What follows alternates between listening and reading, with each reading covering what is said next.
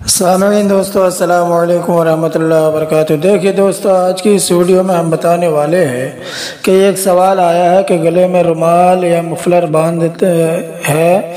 उस सर्दी के मौसम में और नमाज़ अदा कर लेते हैं तो नमाज़ का क्या हुक्म है? क्या नमाज़ हो जाएगी?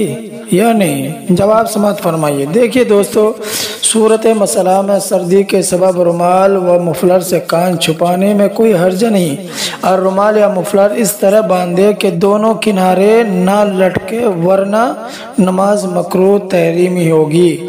या अगर ये किनारा पीठ पर लटक रहा है, दूसरा पीठ पर, जैसे उमूमन इस ज़माने में मुंडों पर रुमाल या मुफलर रखने का तरीक़ा है तो ये भी मकरू है। जैसा कि हज़रत अलाउद्दीन हकफ़ी फरमाते हैं कि नमाज़ कि नमाज़ चादर ओढ़ कर नमाज़ पढ़ना जायज़ है, कोई हर्ज नहीं।